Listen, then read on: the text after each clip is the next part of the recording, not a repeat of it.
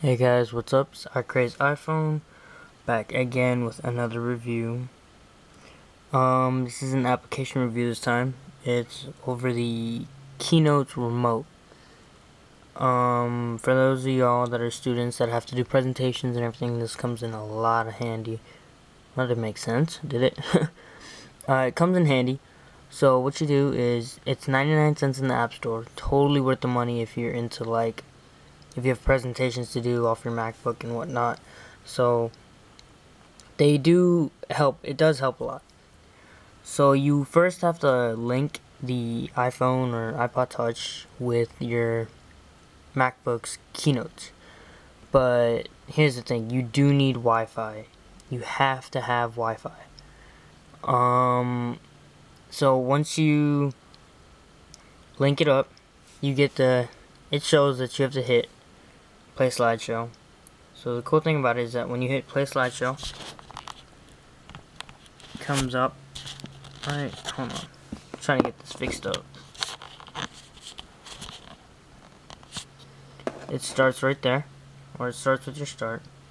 So it shows your screen, and if you had some notes on the PowerPoint, it'd be down here.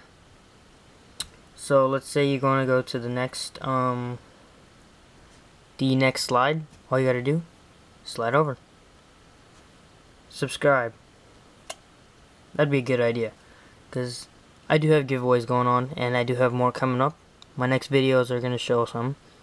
And you can see it not as well, but it's there. You can read it now. So, I mean, you keep going. You can tell that it works. So that's pretty much what this uh, this does. You have the option to go to first slide, switches all the way around. Same with that. Options, and you can go end show. It ends it, and so it does that on there too.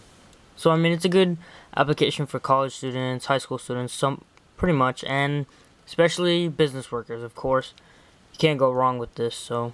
It's 99 cents in the App Store, and I highly recommend it. So go ahead and check it out. Subscribe, comment, follow me on Twitter, twitter.com slash iCrazeIphone3.